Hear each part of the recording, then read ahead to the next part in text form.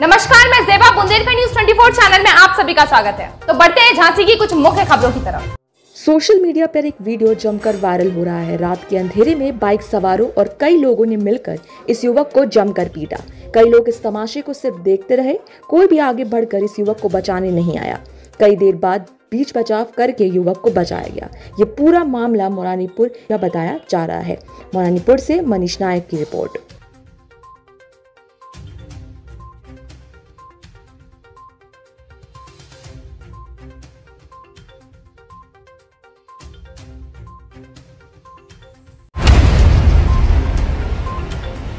दस्तक देने वाले हैं विधानसभा चुनाव। बुंदेलखंड की सीटों पर होगा किसका राज? बाजी मारेगी सपा या भाजपा या होगा बीएसपी का राज? कांग्रेस रहेगी किस पायदान पर? यह बताएगा हमारा अभियान। जनता का मन टटोलने के लिए झांसी बबीना के हर गाँव में पहुंचेगी बुंदेलखंड न्यूज़ 24 की टीम।